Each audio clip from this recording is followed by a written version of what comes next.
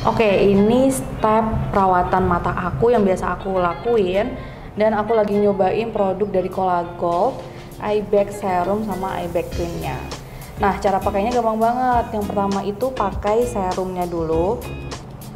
Pakainya dikit aja, gak usah banyak-banyak. Terus tap-tap di bawah mata aja ya. Nah, tap-tap kayak gini sampai dia meresap ke dalam kulit.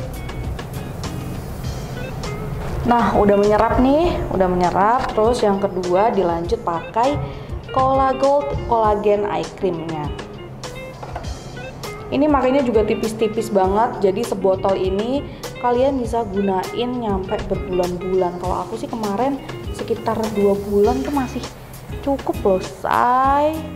Oke, kita tap-tap. Wah, langsung ngeresep nih.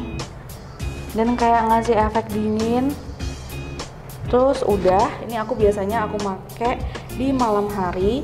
Terus langsung aku tinggal tidur deh pagi-pagi udah. Langsung seger deh. Tinggal tidur